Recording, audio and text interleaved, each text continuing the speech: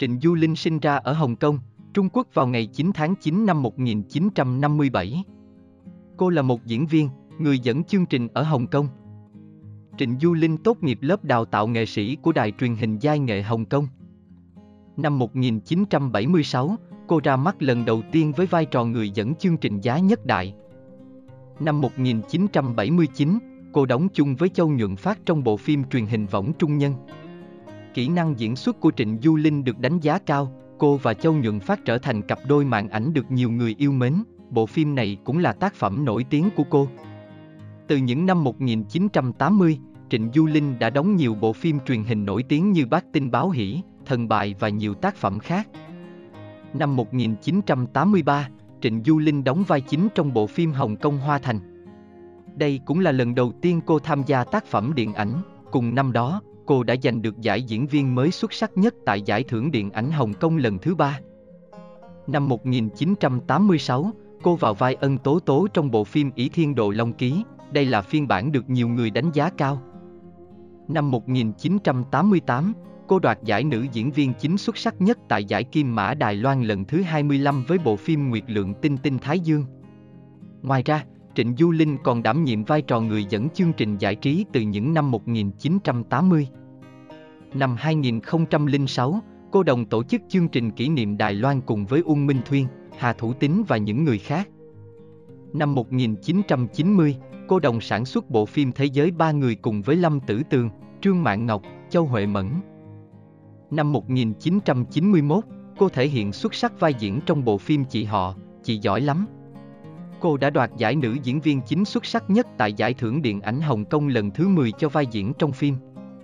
Từ năm 1983, Trịnh Du Linh bắt đầu làm người dẫn chương trình cho các chương trình lễ kỷ niệm và cuộc thi sắc đẹp quy mô lớn của Hồng Kông. Cô cũng bắt đầu chuyển dần sang lĩnh vực điện ảnh với các bộ phim như Hoàng Phi Hồng đấu Hoàng Phi Hồng, Nữ cờ bạc biệt. Từ năm 1994, Trịnh Du Linh quay trở lại lĩnh vực dẫn chương trình và tổ chức lễ kỷ niệm TVB hàng năm.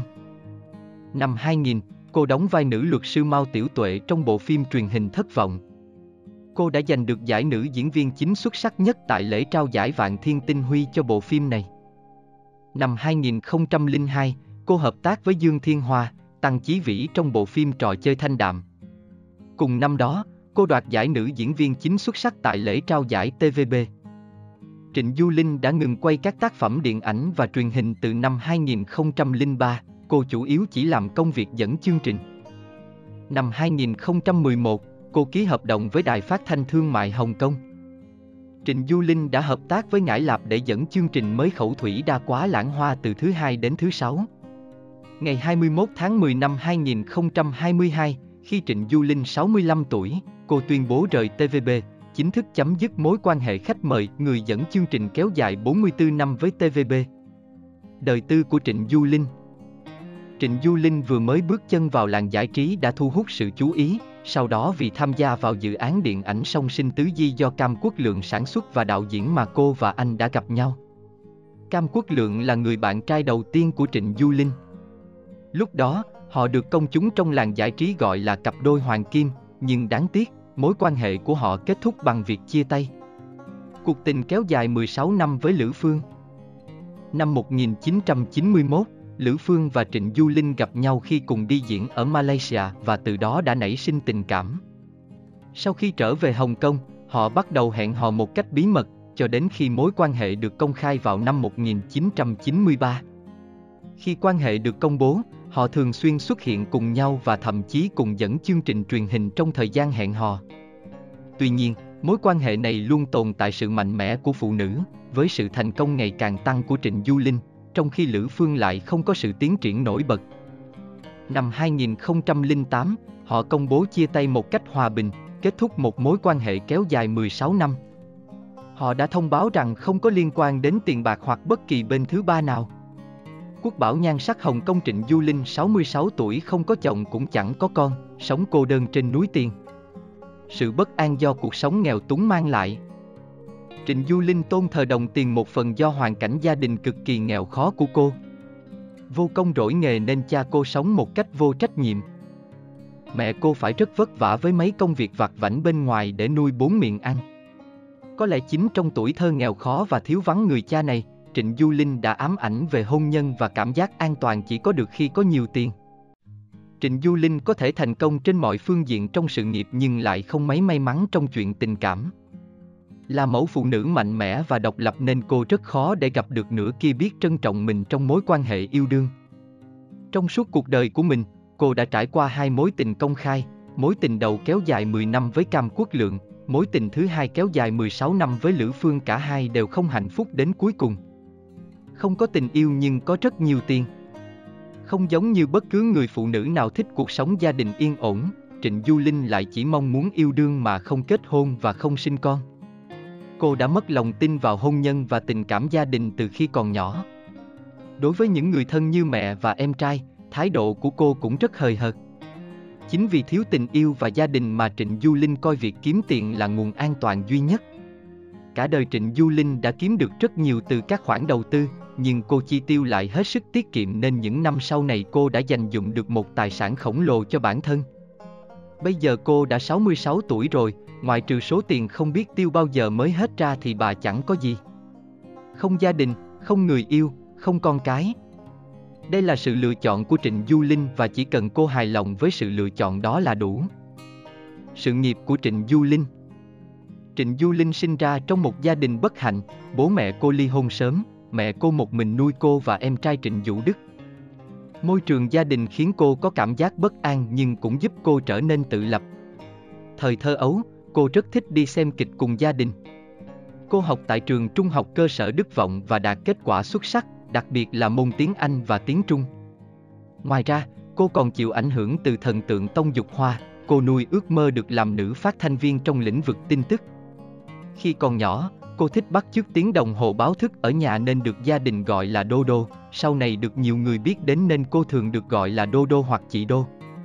Thời kỳ mới nổi Trịnh Du Linh được nhận vào lớp đào tạo nghệ sĩ truyền hình giai nghệ Hồng Kông vào năm 1975. Sau khi tốt nghiệp lớp đào tạo, cô trở thành nữ nghệ sĩ của lớp. Năm 1976, Trịnh Du Linh bắt đầu sự nghiệp, cô dẫn chương trình truyền hình đầu tiên giá nhất đại. Năm 1978, cô hợp tác với Vưu Thiên Long, đóng vai nữ chính Đinh Linh Lâm trong phim truyền hình Kim Đao Tình Hiệp, đây cũng là lần đầu tiên cô đóng vai nữ chính. Cùng năm đó, cô gia nhập TVB với tư cách là người dẫn chương trình Ban Ban. Sau đó, Trịnh Du Linh đóng vai chính trong bộ phim truyền hình dài tập Hồng Công Thiên Hồng, cô đóng vai nhậm ái hoa. Năm 1979, cô hợp tác với Châu Nhuận Phát trong bộ phim truyền hình Võng Trung Nhân, bộ phim thành công rực rỡ, kỹ năng diễn xuất và địa vị của cô bước đầu được công nhận. Cô và Châu Nhuận Phát cũng trở thành một cặp đôi màn ảnh kinh điển.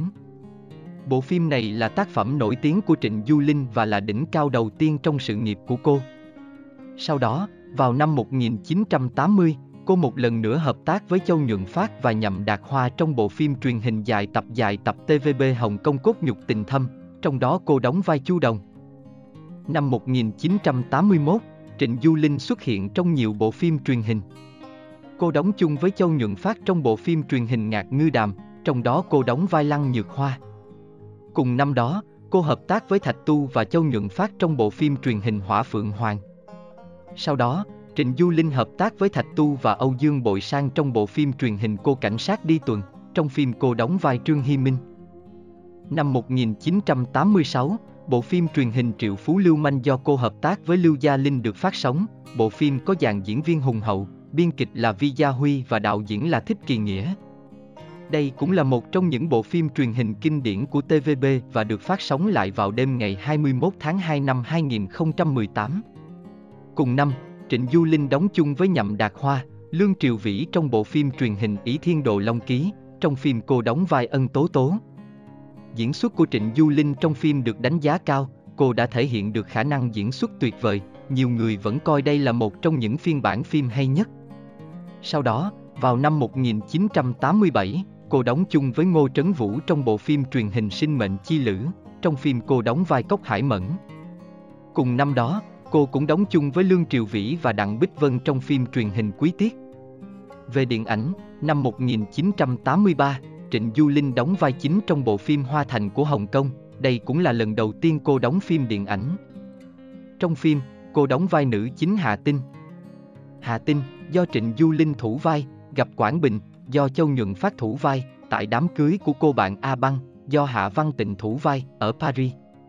Hai người đã gặp và yêu nhau. Trịnh Du Linh đã giành được giải nữ diễn viên mới xuất sắc nhất tại giải thưởng điện ảnh Hồng Kông lần thứ ba cho bộ phim này. Chuyển sang lĩnh vực điện ảnh. Năm 1988, Trịnh Du Linh hợp tác với Lâm Tử Tường trong bộ phim Thế giới ba người, trong phim cô đóng vai Chu Lệ Nga. Cùng năm đó, cô hợp tác với Chân Tử Đan và Nhậm Đạt Hoa trong bộ phim Đặc cảnh Đồ Long, trong phim cô đóng vai Hà Tuyết Linh. Sau đó, cô đóng chung với Châu Nhuận Phát và Hoàng Bách Minh trong bộ phim Bác Tinh Báo Hỷ. Ngoài ra, Trịnh Du Linh còn tham gia bộ phim Nguyệt Lượng Tinh Tinh Thái Dương. Cô đã giành được giải nữ diễn viên chính xuất sắc nhất tại giải Kim Mã Điện ảnh Đài Loan cho vai diễn trong phim. Năm 1989, Trịnh Du Linh hợp tác với Lưu Đức Hoa và Lâm Tử Tường trong bộ phim Bạn trai tốt nhất. Cùng năm đó, cô hợp tác với Trương Mạn Ngọc và Trần Bách Tường trong bộ phim Tỷ muội thần dũng của đạo diễn Vương Tinh. Năm 1990, Trịnh Du Linh xuất hiện trong nhiều bộ phim như Cuộc gặp gỡ ngắn gọn ở Shinjuku và Chị bộ đội đại náo Hồng Kông. Cô đã giành được giải nữ diễn viên chính xuất sắc nhất tại giải thưởng điện ảnh Hồng Kông lần thứ 10 cho vai diễn Trịnh Thạc Nam trong phim Chị bộ đội đại náo Hồng Kông. Cùng năm đó, cô đóng vai bối bảo như trong bộ phim Chúc Phúc. Năm 1991, Trịnh Du Linh hợp tác với Thành Long và đóng vai chính trong bộ phim Phi ưng kế hoa. Cùng năm, cô tham gia bộ phim Chị họ, Chị giỏi lắm. Sau đó, cô hợp tác với Châu Tinh Trì và Mai Diễm Phương trong bộ phim Nữ thần bài. Năm 1992, cô hợp tác với Chung Trấn Đạo trong bộ phim Nữ hùng sân cỏ.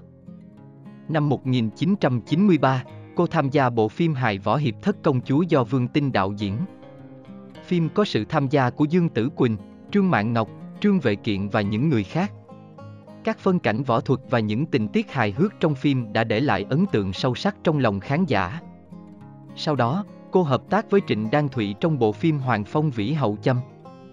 Năm 1994, cô hợp tác với Lương Gia Huy và Trương Quốc Vinh trong bộ phim Đại Phú Chi Gia. Cùng năm, cô đóng chung với Trương Kiên Đình trong phim Chị họ, Chị giỏi lắm phần 4. Năm 1998, cô hợp tác với Lâm Kiện Hoàng và Châu Tấn trong bộ phim Hoa Kiều Vinh Ký, phim được chuyển thể từ tiểu thuyết cùng tên. Năm 2000, cô hợp tác với Huỳnh Tử Hoa và Uyển Quỳnh Đan để đóng vai nữ luật sư Mao Tiểu Tuệ trong bộ phim truyền hình Thất vọng.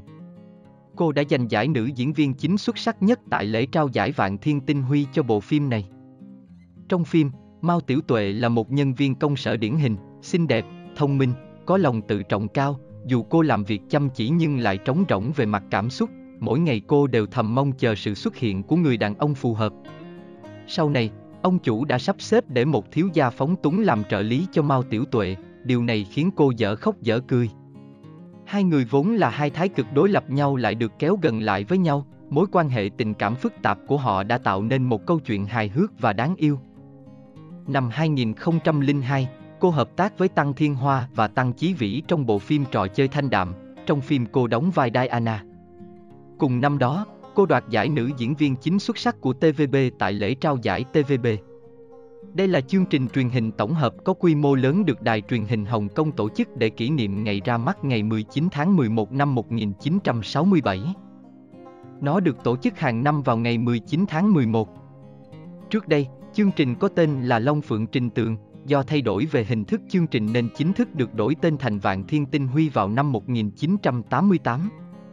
Dẫn chương trình Năm 2011, cô ký hợp đồng với Đài Phát thanh Thương mại Hồng Kông. Trịnh Du Linh tham gia dẫn chương trình phát thanh, hợp tác với Ngải Lạp để dẫn chương trình mới khẩu thủy đa quá lãng hoa từ thứ hai đến thứ sáu. Vào ngày 19 tháng 11 năm 2019, lễ kỷ niệm 52 năm thành lập TVB Giải trí Hồng Kông, đã được tổ chức tại Hồng Kông. Hai MC Trịnh Du Linh và Uông Minh Thuyên xuất hiện để mở màn chương trình. Tháng 8 năm 2020, cô tham gia ghi hình chương trình Hoa hậu Hồng Kông 2020. Cuộc thi Hoa hậu Hồng Kông 2020 là cuộc thi sắc đẹp lần thứ 48 do công ty thanh truyền hình tổ chức. Đây là một trong những chương trình được TVB quảng bá trong năm 2020. Vòng chung kết được tổ chức vào ngày 30 tháng 8 năm 2020 tại Video Studio 1, được tài trợ bởi cửa hàng mỹ phẩm Sasa.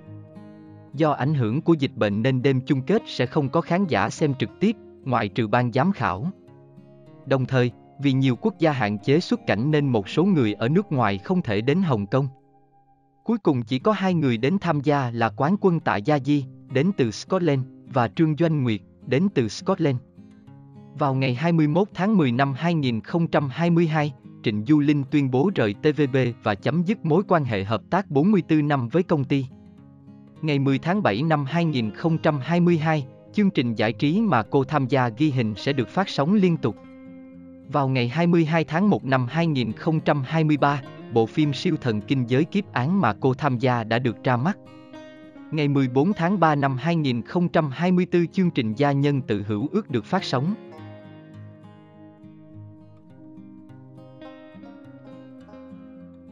Nếu các bạn thấy nội dung hay, đăng ký giúp mình để có thêm nhiều nội dung mới nhé.